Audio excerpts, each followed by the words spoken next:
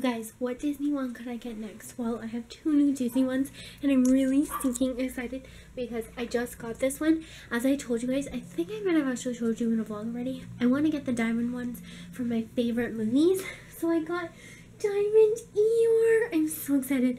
I love this one so much. I kind of wanted Diamond Pooh Bear or Diamond Eeyore and Eeyore came up first so I was like, oh my gosh, gotta get it.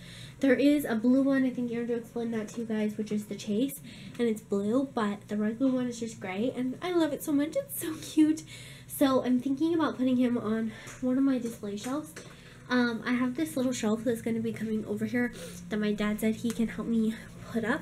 So I'm thinking about putting it here, but I'm not 100% sure yet because I might like it over there. But I want to get some, uh, just a plain flat shelf to put my um, diamond ones on. But I only have three diamond ones and two of them are already in displays. So not sure, but I really love this one. And then Andrew went out today and he got me another Funko Pop. And it's of a movie that we're watching right now. At how my Harry Potter shelf is coming along. Love it. Okay, you guys, so we're watching the movie of this right now, but Andrew went to the mall and he got me another Funko Pop. It's Disney. It's Hercules. I love this one. This is one, well, I say that about everything, but it's one of my top favorite movies. I love it so much. I'm so excited to have this one.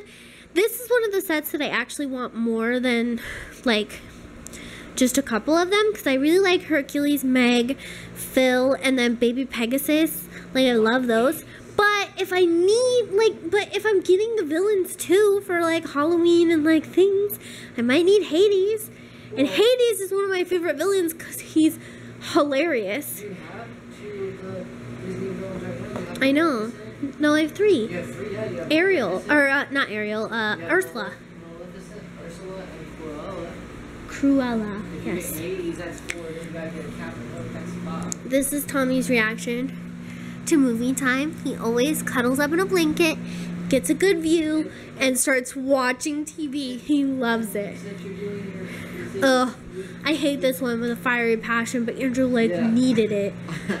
I've been seeing this since we found out the Star Wars store was the letter. And I finally got it. It's the furry and fierce. It's a Build-A-Bear Funko Pop, and I think it's so It's- dumb. So what it is? is But it's furry whatever. Hot Topic build a uh, Hot Topic exclusive Build a Bear, but it works with Build a Bear.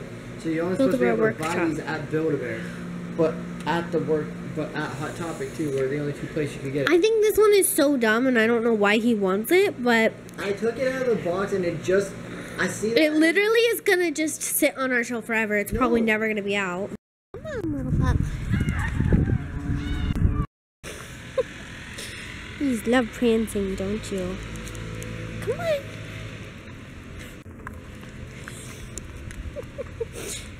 You're so cute.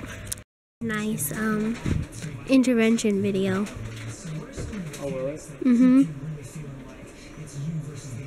I didn't say it was fine. Here's Andrew in his natural habitat.